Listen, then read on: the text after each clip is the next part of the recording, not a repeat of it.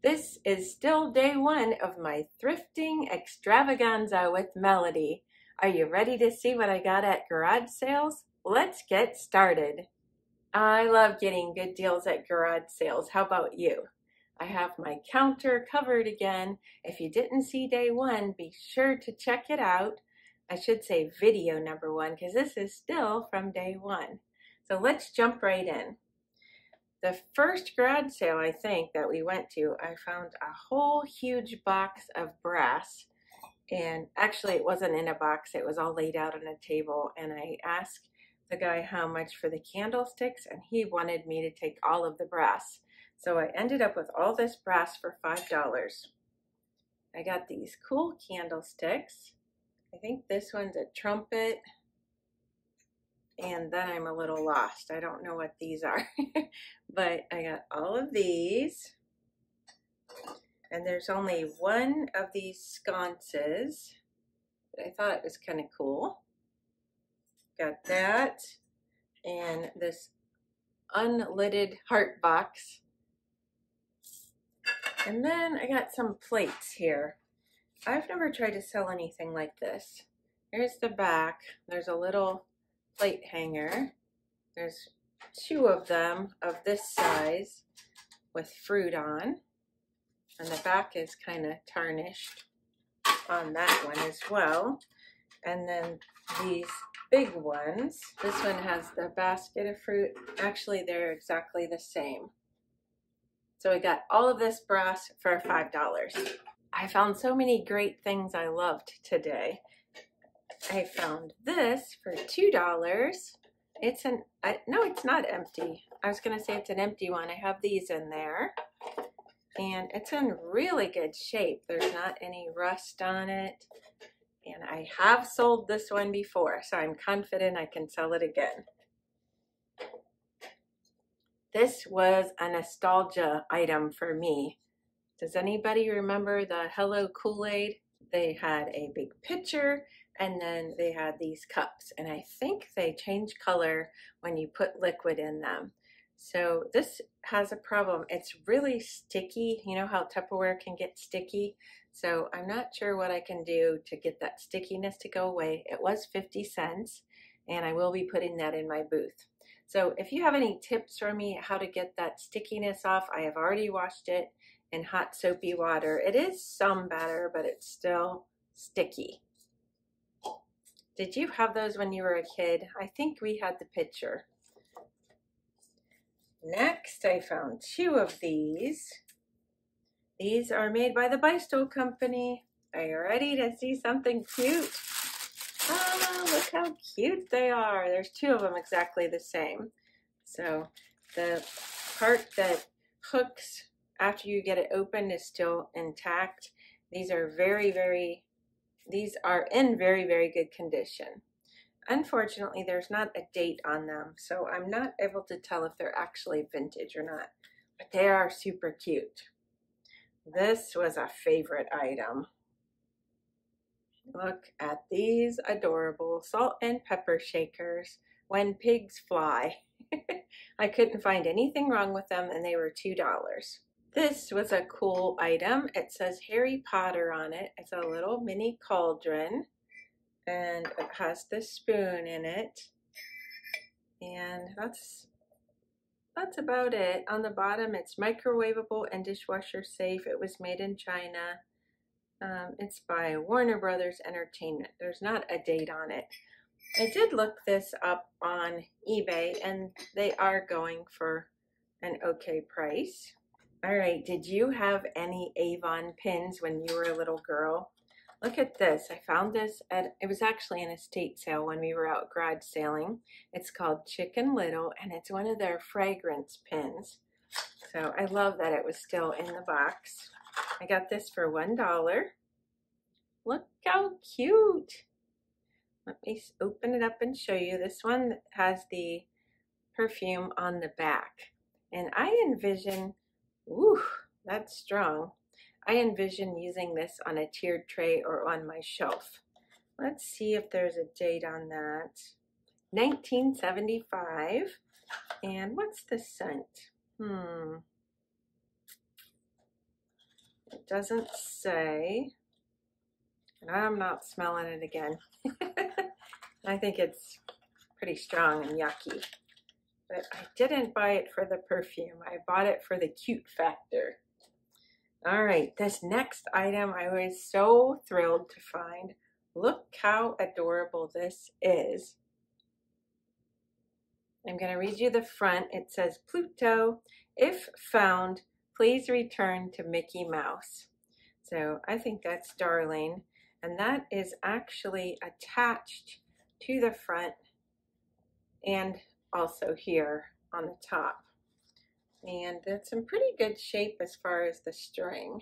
I wished I could find a date on that. It's made in Thailand and 100% polyester, but it doesn't have a date on it. So I was really happy to find this.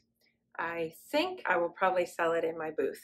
Another $1 item. I always look for these willow tree sculptures or figurines.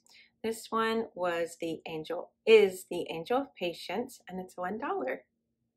So I will be putting that in my booth. I've had good luck with them.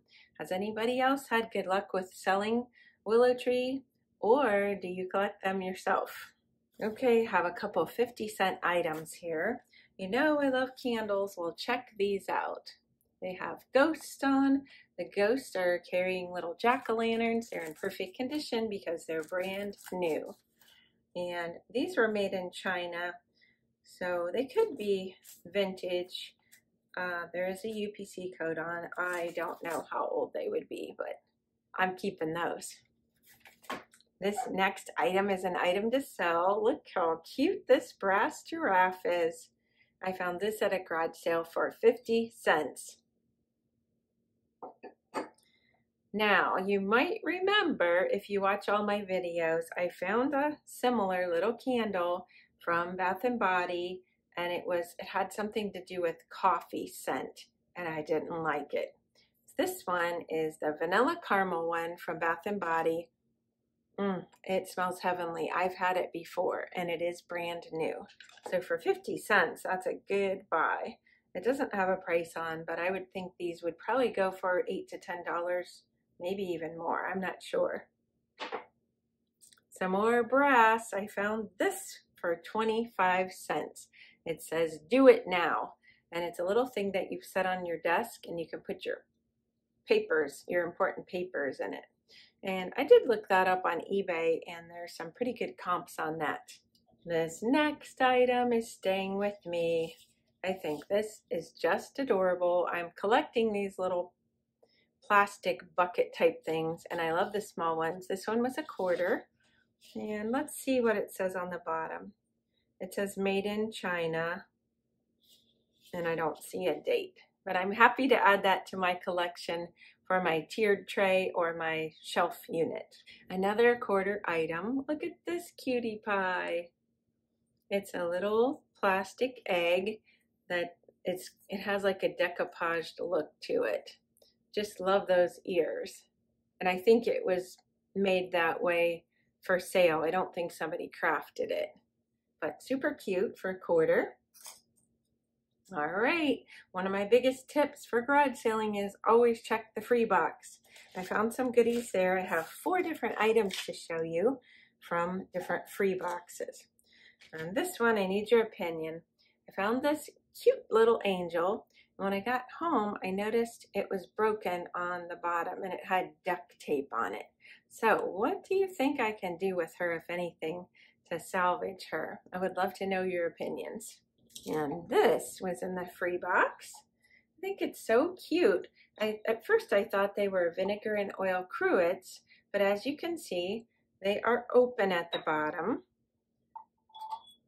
And then they have little candles and holders. Now the candles don't match, unfortunately, but hey, what do you want for free?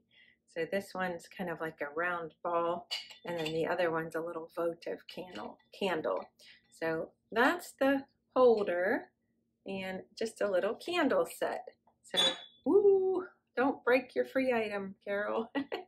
I think that's darling. So I'm going to clean that up until it sparkles and I will be putting that in my booth and maybe I'll be able to find matching votive candles before I do that. All right, then I found this cute little blue elephant and I just thought he was precious. It's kind of like a rubbery material, not breakable.